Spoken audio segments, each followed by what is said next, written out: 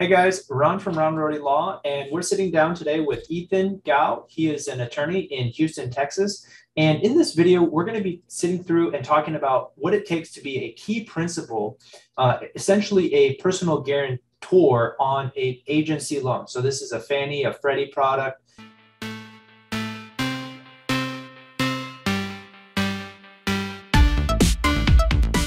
As always, smash that like button, uh, subscribe if you like the content, um, a lot of you multifamily syndicators that are starting out, you may not have the net worth or some of the experience to qualify as a KP for the agency program.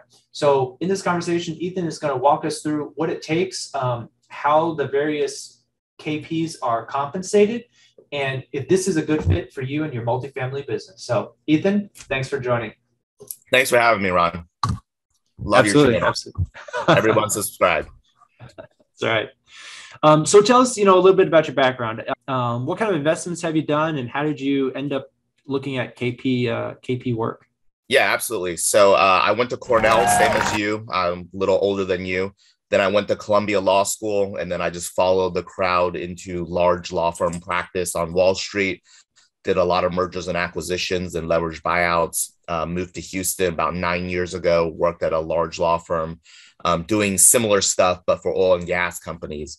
And I was always kind of looking for a way to get out of big firm practice. Um, and the way I found, uh, you know, the, my personal journey was through real estate investing. So I did a bunch of due diligence and research on how to make money in real estate. And specifically, I decided that I was going to become a hard money lender.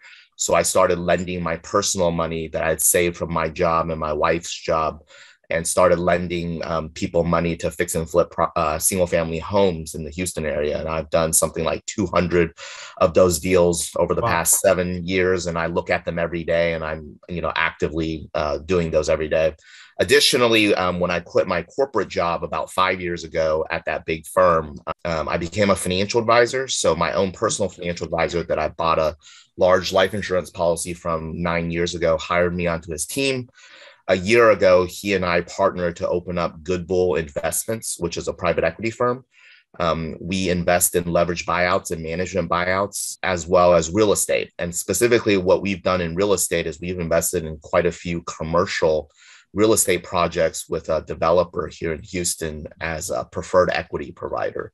And that's gone quite well. We've raised about $20 million and deployed $20 million most of that is in that commercial real estate developer that I mentioned. Another sizable chunk is in uh, land development with one of my other clients that I've done a ton of legal work for. And then a, a couple of others are just uh, hard money loans. And one is a, um, um, a minority position in an HVAC company that's going to pursue a roll up strategy in Houston. Okay, awesome, awesome. That's so my professional background, yeah. So so the so the KP principal, um, so the multifamily uh, interest level for me came from about 18 months ago when someone I knew introduced me to the concept. So um, you know, Ron, as you were describing, um, so for a lot of multifamily syndicators looking to get an agency loan or even a bridge loan, um, the sponsorship group has to show net worth that exceeds the loan amount that is being uh, incurred. So sometimes that sponsorship group may not have that net worth. So they will need to bring on someone with additional net worth just to get qualified for the loan. Um, now, some variations on this. Sometimes the sponsorship group does have the net worth. However, the lender requires 10% of that net worth to be liquid and provable. Yeah. So they'll say, hey, show me a brokerage account, show me a savings account, show me a checking account with 10% of, you know, let's say you're getting a $10 million loan, then show me a million bucks somewhere, right? That that's easily accessible and provable. So sometimes, um, you know, as you know, a lot of investors, especially real estate investors, don't run very liquid at all. So it's a challenge for them to show the liquidity. So that's where someone like me can also come in because I typically keep a pretty large amount of my net worth uh, liquid in my life insurance policies, which I can access at any time. Um, and then the a third item that can potentially happen is um, a sponsorship group could have the net worth and the liquidity, but they don't. They just don't have the liquidity for earnest money uh, for the specific deal. So that's where somebody else like me could also come in to provide that as well. And I'll give you an example on the deal that I recently did if, if you want me to go into that level of detail. Yeah, of course. So um, I, uh, I, am part of a group that's looking at a 352 unit deal in Virginia. It's about a $72 million deal total. The earnest money on that is, you know, approximately 1%, so 700K. Um, the loan amount being incurred is 60 million. So I joined that sponsorship group. Um, I helped them with the earnest money, and uh, I signed on the Freddie Mac loan as a as a guarantor as well. And Fantastic. I had to, yeah, yeah, and I had to send in, uh, you know, three months bank statements, uh, send them a personal financial statement. I had to send in a uh, schedule of real estate owned and uh, experience, you know, resume. Um, they didn't particularly care about any of my single family background. Uh, they really just uh, said, okay, you talked about your commercial experience. Just show me the commercial stuff you've in invested in. So I showed them what my private equity firm had invested in, which is a hotel, a self storage, an office building, a medical office, and a retail center. Yeah, and I think that's an important distinction for everybody that maybe has a lot of residential success and, and maybe they've done construction, development, even duplexes or whatever. That doesn't count in the commercial world. You really need to make that jump to a large multifamily to really start building any type of track record with the agencies, with Fannie Freddie. Um, and I, you know, I think I get that question a lot. So for somebody watching that wants to take down one of those multifamilies, I think that's a you know, it's still maybe on a big side for starting out, but it's certainly in the range. You know, you're not going to get away for less than 30 million, um, you know, purchase price with with a pretty hefty loan. Um, and you're going to need that type of partnership from a, a KP. Um, so tell me a little bit about for other people when they partner with some of the other multifamily mentors, they offer this service as part of their um, you know their package. So when you pay for the guru uh, I've, I've, talked about gurus a lot on the channel you know both good and the bad but this is one of the, the i think the good things that you get. Um, if you do have a deal they have the, the sponsors to you know participate usually at pretty unfavorable terms but you you solve this problem by giving up you know a decent amount of return for you as a sponsor individually yeah, but on the flip side, right, without it, you really couldn't have gotten the deal done. So, well, unless they know you, they can. Unless they know you, yeah, unless they know me, and I'll, I'll do it for one dollar less. That's great. That's great. Well, let's talk a little bit about the compensation because I do think it's very interesting. It's kind of built a little bit of this cottage industry, right? I've certainly put people in touch with individuals. Um, they find people just through investor networking. Um, but there are a couple main ways to get compensated for providing this value to the sponsorship group. One is, uh, you know, just like a straight cash payment. Um, and and tell us, I guess, about your deal. Did you do a straight cash? Did you take equity? Yeah, so I took equity. So so you're exactly right, Ron. So you can do straight cash, kind of at the closing table or you can do uh, equity, you know, which is basically a membership interest in the, you know, LLC or whatever entity that becomes the general partner of the limited partnership or whatever the the you know investment entity ends up being. So I took an equity stake in in my deal. So on typically the GP side. On the GP side, yeah. So I'm I'm a I'm a you know member of the GP for a minority percentage. I don't have any sort of control mechanism. Yeah, that, or, that's what I was gonna say. You know, my third third I'm option. a tag along yeah, I'm just a tag along. Like probably in terms of degree of cost, in both in return and and and everything time. The the straight fee is the easiest from the GP side. You know, you just pay money, you you get it done, and, and you move on. Nothing else changes in your return pro forma other than an expense line. The middle is kind of what you did, I think, taking a minority stake in the GP entity that's pretty common, but they're giving up some return. Uh, you know, it really hurts their individual IRRs. And then the third option is kind of giving up your deal. And I've seen this happen and I've negotiated, you know, on, on both sides, the, the takeover party as well as the taking over party. Um, it's not always pretty, but it's what I would say, quote, gets the deal done. It preserves your reputation, right, in the market with the seller. But that's kind of a third option where if you see somebody really struggling maybe they don't have enough cash raised their closing date is very very you know soon they have hard money that they're going to lose you could come in for that same 700,000 and, and maybe 500 is a, you know, earnest money and you take over the project. You become the majority controller and you say, I like this deal. Um, the only way that I'll come in is if I control it. And so that's that's very interesting in terms of saving the deal, maybe saving your hard earnest money that you've put down as a sponsor. Um, and if you thought you could do it yourself and then you can't, sometimes you lose the project and you you know become a minority voice in your own property yeah kind of hostile takeover style special situation you know, I, I yeah. have no i have no qualms with that you know these people if they had an attorney coming in they knew the risks they knew what the paperwork was um, but uh, it's it's just business you know and and you know ethan you're sitting back at your home you don't have to do this deal it's really to the benefit of the original sponsors and so I think your point of view, you're not aggressively inserting yourself. They're choosing to give up control to save their save their money and save their reputation with their existing investors. So yeah, no, absolutely. I, I was actually presented with a pretty interesting opportunity right around Christmas. Um, you know, that was a much higher ticket size, which I didn't have at the time. I wasn't liquid enough. But for a couple million bucks, you could have definitely negotiated an extremely good deal mm-hmm. on a project in Houston, which is you know kind of hard to find these days. Yeah. That makes sense. A, decent project with pretty experienced sponsors. They you know they had some equity investors back out, and then um, you know they they ended up closing it with their personal money, which they really didn't want to do. Um, and so, and actually, they're still fundraising now for that. So you can still, you can't quite get ransom out of them now because they've already done it, but you can still get a pretty good deal.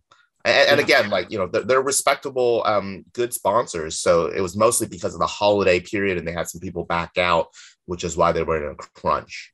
Which is tough, you know. I'm very, I'm, I'm, I'm sympathetic to that. Um, a lot of my clients, when they're raising money, they're not uh, competing with people that. Um, have a urge, you know, they have to deploy dollars, right? That's not at the family office or the institutional level where they have a mandate says you must deploy X amount of dollars. So it's their job. You know, you're usually competing against people's own laziness or their their vacation schedule and you know a lot of other factors that have nothing to do with the metrics of the deal. They might like it. yes, normally they would invest if this was, you know, March, 100% they'd put money in. But you're talking to them in December, they just won't they just don't feel that same uh, need to put money out. So, right. Um, yeah. So, so how long, if, you know, if there's somebody watching that's interested in reaching out to a KP, at what point in the process should they reach out to you? I would say um, right at the uh, letter of intent stage um, is is fine, and then certainly right, you know, at the uh, executed contract stage. Okay. So really it's pretty early in the process. You know, they need, uh, this is part of the capital stack, even if you're not bringing in any dollars. And I think that's important. People might be looking at the earnest money, looking at, you know, equity to close, but this is absolutely part of your capital stack. If you're going to go with this agency debt, which, you know, it's probably like, what, 99%, 97% of multifamily guys are going agency route or well, yeah. Well, I think I think bridge is a lot more popular right now. Okay. But, but yeah, I mean, agency usually is is the preferred, and, and I mean, the bridge lenders have very similar requirements as well. Okay. Okay. Yeah. so you so can't get away from you know they I've, just be yeah you can't say oh I have zero dollars and I have uh, zero net worth you know approve me for the loan. Yeah. Yeah. Even if you have equity uh, against the loan, they they don't want to approve a uh, unknown sponsor. But yeah, fully, you know, I I, I am not. Um, a lender expert. So I defer to you guys on some of the names of the products, some of the current interest rates, the terms, you know, the IO periods. I see what my clients get, but I certainly don't know what the full gamut of the marketplace is. So if I misspeak on any lending products, I just call it like agency debt, which is to me all the cheap debt for multifamily. I don't know all the, the product names and uh, yeah, yeah, no problem. No problem. No, no, um, Okay, so LOI Bridge products look very similar right now. Yeah, and so what are those? Those are like a 24 month uh, IO or? Sometimes yeah eight uh, one year to two years interest only. Um, i mean they're, they're almost as competitive with agency and um, they usually have a l- higher loan to cost. So a lot of people you know these days you know right now because of the similarities in the in the pricing um, you know people are willing to take on more leverage but is it it's it's designed just to let you implement like a value add plan or to do something that's going to allow you to refinance with a I think that was the original right? intent, uh-huh. which is why they called it bridge. But these days, like I think you can get a five year bridge loan. Oh, so fully people can just exit just based right. on estimated cap rate compression or anything. They say we could just sell it for a higher price. I, I think so. I mean, yeah. I, I, think it's, it's just lending has gotten really aggressive. And is it all uh, variable? Then is the bridge stuff all variable rate? I think it's fixed for a certain period and mm-hmm. then it becomes variable. And then I think you can always, if, if the loan's large enough, you can always do like a swap or something and, gotcha. and fix it. Yeah. So super interesting. I, I mean, this is a topic that I think I don't cover as much because I'm more about kind of the nuts and bolts of the real estate transaction, contracts with the vendors and, and you know, lease issues and due diligence, all that, you know, the contracts. But um, the financing is, is so critical. And I think that people that come into real estate thinking, well, you know, we can just buy it at X, we can, we can do these improvements that cost X, Y, and then we can raise the rents by Z. That's great. And I think that works. But if you're not doing a value add plan, the the debt and the long term financing cost is super critical to the success of your product uh, of your project. And so that's one of the things that understanding fully what the marketplace is out there, um, where you can get money cheaper or or just variable terms, right? Cheaper is a very generic term. It's it's is it cheaper upfront? Is it fixed for hedging more risk? Is it match your hold period? And will you actually hold it for 10 years? You know, I think a lot of people make decisions based on a 10 year or seven year hold, and then they end up selling it way earlier. Um, so,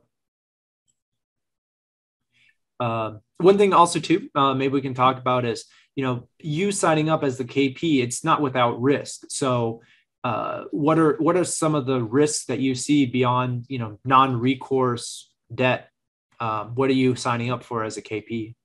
Sure. So non-recourse, even though the words say non-recourse, there's triggers that make it full recourse. Triggers kind of come into two broad categories. I would describe one is fraud-related triggers, you know, bad boy carve-outs. So if uh, you know the sponsorship team steals money, uh, misappropriates money, etc., that that becomes a fully uh, triggered full recourse loan to all the signers. And then the other set of triggers are compliance triggers. Mm. Some are, you know, financial statement reporting, you know, getting insurance on the property. So in general, you know, a, a decent sponsorship team should not be facing the compliance triggers. Um, you know, that's just kind of doing your job. Um, and then also, in addition, uh, they sh- they should hopefully not be triggering any of the bad boy carve outs for the fraud and misappropriation either. But you know, you read you read some bad stories once in a while uh, of that happening. You know, I, one of my clients told me it was not a multifamily syndication, but it was an oil and gas um, oil and gas uh, fund, and you know the the sponsor was super, you know originally very very high integrity. You know, um, army veteran, you know, prestigious MBA, and then just ended up stealing money from the fund. Wow. So were there criminal charges filed against him later? Or? I think it's still ongoing. It's actually you could do it's uh well I don't want to give away the name, but it's uh it's an oil based based fund in Texas that you could Google, and I'm sure yeah. there's all kinds of stories about what happened. That's crazy. Yeah, you know I think that's that's part of the lesson of of your lawyer and your legal team is most of the time it's going to go good most of the time you know you make a judge of character the markets turn out you know there's all these factors outside of your control but i will leave a concede you know if you do your due diligence most of the time things will be okay it's those 1% the 2% of scenarios when when you know shit hits the fan that you need to be prepared and you need to know what your documents say. What are your full rights? What are your obligations? Uh, what's your individual liability as it relates to the whole mess? Um, because it suddenly becomes very critical. And if you try to run to your lawyer you know after he steals the money it's too late by then. So. Yeah. Yeah no in general like Ron was saying right i mean you know the, the vast majority of deals you know and and the I mean, maybe they don't give you the the return that they were expecting, but they don't usually end up in a total loss of money and fraud. Right, right. All right. Well, that wraps it up for us. You know, I hope you learned about the key principal role, um, who can do it, how much does it cost, how quickly can it happen, um, and generally kind of the scope of how a key principal can help you take down your next multifamily syndication deal. As always, smash that like button, uh, subscribe if you like the content, and we'll see you next time. Thanks, Ethan. Thank you. Anybody so if there's any uh, sponsors out there that want to connect um, on, you know, earnest money, KP, or or um, investing in in our fund, or or getting a life insurance policy, or, or legal work in Houston, you know, feel free to give me a give me a call or Perfect. shoot me an email. I'll put all your contact info below so you can you can connect with Ethan, email, website, all that stuff.